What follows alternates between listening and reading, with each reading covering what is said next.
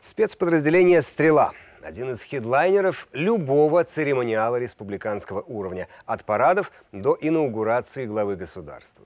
Впрочем, их работа только на первый взгляд сплошной праздник. В этом убежден мой коллега Игорь Тур, который за несколько дней с инспекторами «Стрелы» успел оценить новый немецкий автомобиль, оказаться в эпицентре настоящей погони за нарушителем и даже встретить в аэропорту президента иностранного государства.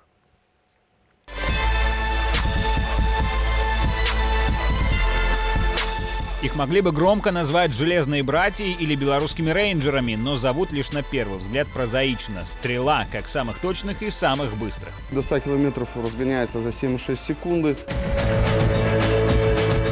Святая святых гараж спецподразделения с февраля украшает этот немец BMW третьей серии. Полный привод, 184 лошадки под капотом и 230 км в час. От белого рыцаря уйти будет непросто. Но на дорогах его видели пока единицы, куда привычнее глазу Крайслеры. Командир стрелы рассказывает, эти машины заслужили уважение. Как вот во всех американских фильмах, на которых ездят американские копы.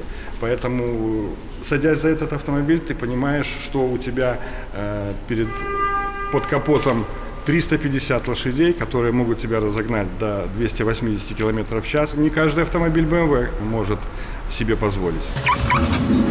Предпочтение даем вот марки Yamaha. А это уже гордость двухколесная. 146 лошадиных сил, 8 тысяч оборотов в минуту и разгон до сотни за 3 секунды. В автопарке появились, когда лихачи на спортбайках стали нарушать спокойствие. И наверняка кто-то шел в ГАИ, чтобы однажды дорасти до седла этого железного коня. Всегда мечтал да, попасть в спецподразделение, а именно в службу эскортирования. Ну, своего мотоцикла нету. Ну, если честно, хватает на работе. Проезжаем, бывает за тренировку по 300 километров.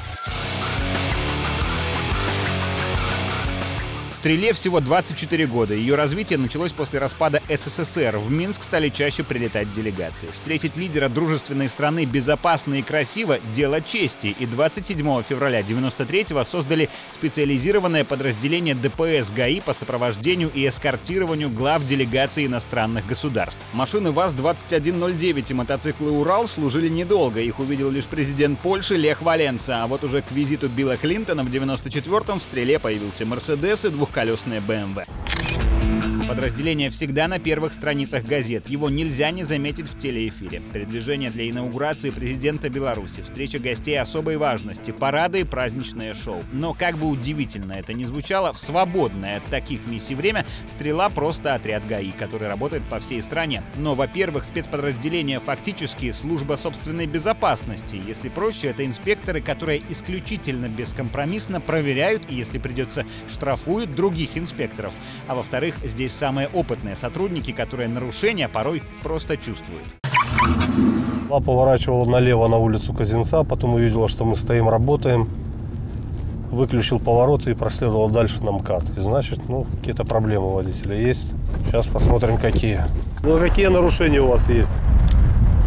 Транзиты просрочены. Но подразделение все же специальное, с нестандартными порой для ГАИ функциями. Подразделение выбывает на задержание с такими спецподразделениями, как СОБР, Алмаз, Альфа. Занимаемся перевозкой органов и тканей э, в клинике, так как э, доставка там ограничена по времени, а человеку нужна помощь. В стреле около 80 человек. Попасть в штат непросто. Нужно высшее образование, права категории А, Б и С, стаж в ГАИ от 5 лет. При этом строгий конкурс отбирают по моральным и физическим качествам. Ведь в седле мотоцикла порой 12 часов подряд и в любую погоду. Но тем, кому удалось пройти этот отбор, достается интересная работа. Чтобы понять, что такое встречать главу государства, отправляемся в аэропорт на борту того самого Крайслера. Эскорт для президента Грузии. Малиновка, стрела 16, шестая контрольная точка. Кортеж выруливает на проспект Независимости. Контрольная точка — это каждый перекресток или пешеходный переход, то есть любой участок, где могут неожиданно появиться машины или люди. Мы в замыкающем автомобиле, роль которого — не допустить проникновения в колонну сзади. Отсюда же запрашивают зеленый коридор и дают отчет после прохождения каждой точки. Кстати, изначально «Стрела» — это позывной отряда, но к нему так привыкли, что в 2001-м неофициальное название закрепили. Станция в салоне замолкает лишь за кольцевой, и сейчас есть время спросить, сколько президентов на счету Анатолия Кукарцева. В спецподразделении он 10 лет.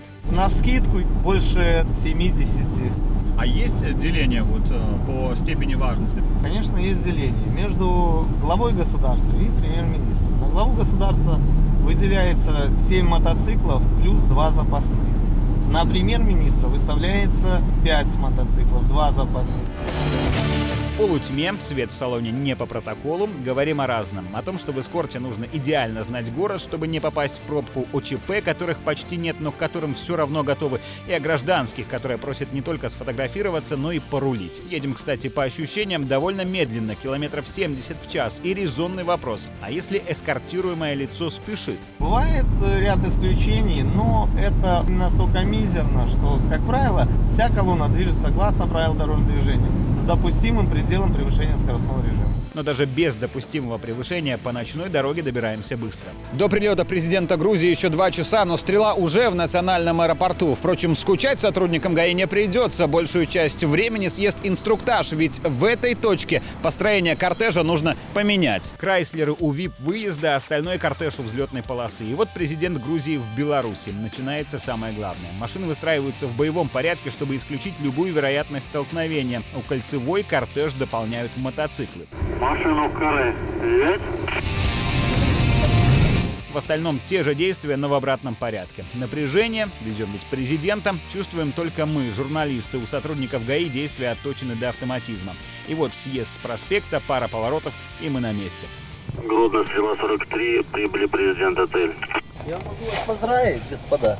С боевым Вы стали, крещением? да, боевыми штатными сотрудниками стрелы. У Георгия Маргвелашвили впереди будут два дня официального визита, но даже интенсивность новостей о президенте Грузии не перебьет наши эмоции от такого путешествия. Это круто, и так можно сказать обо всем подразделении, самом заметном в белорусской милиции. Его бойцы в рейдах, в погоне, в эскорте и всегда на высоте. А о себе говорят так, стрела — это не позывной, а образ жизни. Игорь Тур, Алена Бартенкова, Дмитрий Буй, Виталий Мотин, Андрей Чураков. Контуры.